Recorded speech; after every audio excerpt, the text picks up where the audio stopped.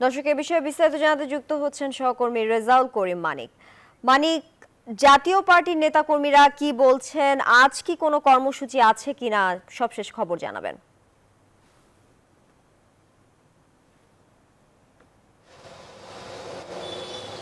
শুভ সকাল, তানিয়া। আপনি যেমনটি সংবাদে বলছিলেন যে জাতীয় পার্টির অর্থাৎ অব্যাহতিপ্রাপ্ত মশিউর রহমান রাঙ্গাকে জাতীয় পার্টির সব পদ থেকে অব্যাহতি দেওয়ার পরে কিন্তু উত্তপ্ত হয়ে ওঠে হয়ে ওঠে রংপুর এবং তার নির্বাচনী এলাকা গঙ্গাছড়া। রাত গেল রাত সাড়ে এগারোটায় অর্থাৎ জাতীয় পার্টির অর্থাৎ বহিষ্কৃত নেতা মশিউর রহমান রাঙ্গার সমর্থকরা কিন্তু একটি মিছিল বের করে এবং অর্থাৎ পার্টির চেয়ারম্যান জি এম কাদেরের পুষ্পতিকা দাহ করে। এরপরেই অর্থাৎ জাতীয় পার্টির চেয়ারম্যানের যে- যে সমর্থকরা রয়েছে, তারাও একটি মিছিল বের করে নগরীর জাহাজ কোম্পানি মরে আসে এবং দুই গ্রুপের ধাওয়া পাল্টাতে হয় এবং অন্ততপক্ষে বিশ জন আহত হয়।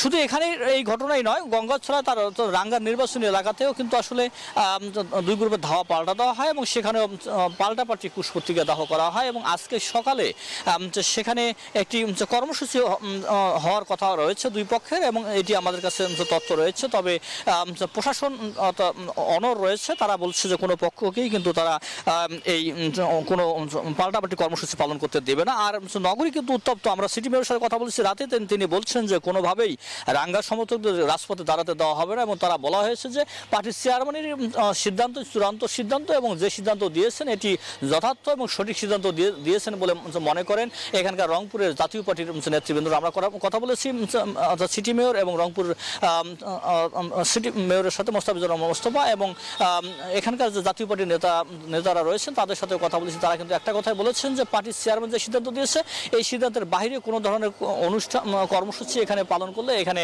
বড় ধরনের একটি সংঘর্ষের আশঙ্কা করা হচ্ছে। আমরা কথা বলেছি সিটির অর্থাৎ মেট্রোপলিটন পুলিশের সাথে। তারা কিন্তু বলছে যে এখানে কোনো ধরনের বিশৃঙ্খলা যাতে না ধরে, এই জন্য কিন্তু নগরীর গুরুত্বপূর্ণ পয়েন্টগুলোতে তারা কিন্তু আসলে পুলিশ মোতায়েনের কথা আমাদেরকে জানিয়েছেন। অর্থাৎ সব মিলে মসিউর রাঙ্গাকে জাতীয় পার্টি থেকে বহিষ্কারের কারণে উত্তপ্ত পরিস্থিতি বিরাজ করছে রংপুর এবং তার নির্বাচনী এলাকা গং- গঙ্গাছড়ায় আমরা সংবাদকর্মীরা অপেক্ষায় রয়েছি এবং আমরা আমরা দেখছি আসলে শেষ পর্যন্ত কি ঘটতে যায় এবং কেন্দ্র থেকে অর্থাৎ রংপুরের যে জাতীয় দুর্গ রয়েছে, দুর্গে যে একটি বিশৃঙ্খলা পরিস্থিতি জাপাত তৈরি হয়েছে, এটি কিন্তু আসলে সারা দেশে কিন্তু একটি রাজনৈতিক অঙ্গনে এটি আলোচনার বিষয়। তাহলে এই ছিল আমার কাছে রংপুর জাতীয় পার্টি কার্যালয় থেকে সর্বশেষ স্থানীয়।